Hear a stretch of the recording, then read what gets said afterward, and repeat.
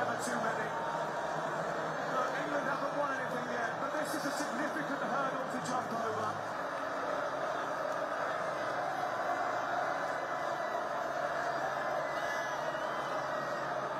Spare a thought for Denmark. We hope to see you someday.